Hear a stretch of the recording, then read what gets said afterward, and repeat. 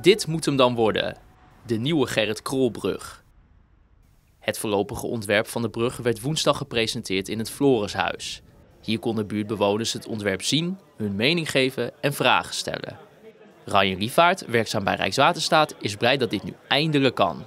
Ik vind het erg leuk om, uh, om het aan, mensen echt iets meer concreter te laten zien dan op papier. Om uh, de beleving van de nieuwe brug, wat, ik, ja, wat wij als team ook vinden dat het een hele mooie, hele mooie brug wordt. Echt een impuls voor de omgeving. Want het gaat niet alleen om de brug zelf, maar ook om de Hunzeboord. Hè, de ontwikkeling van een ecologische zone aan de noordkant. En de herinrichting van de Korreweg.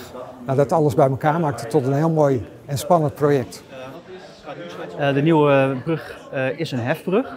Dat betekent dus dat er een plateau geflankeerd door vier torens omhoog en naar beneden gaat. Om te zorgen dat de grote uh, binnenvaartschepen langs kunnen varen. Uh, flankerend daaraan zitten twee fietsloopbruggen. Net zoals eigenlijk als de bestaande fietsloopbruggen.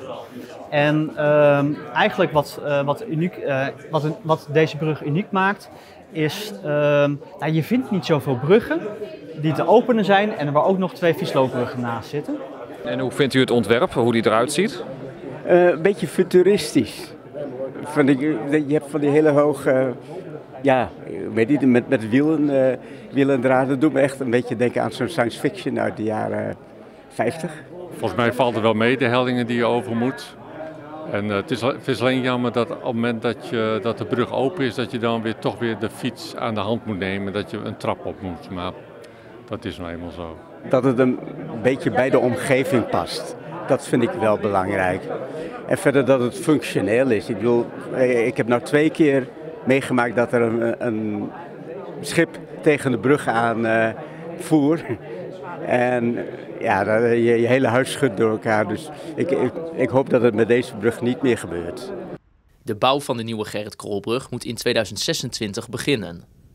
Uh, maar dat hangt wel af van uh, hoe snel loopt de vergunningverlening.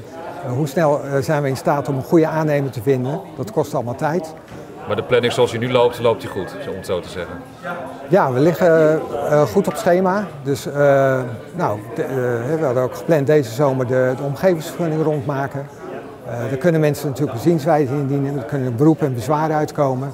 Dus dat kan wel ja, voor enige vertraging zorgen. Maar nou, we denken dat we een, een goed verhaal hebben, een goed ontwerp. Maar ja, dat, dat zien met vertrouwen tegemoet.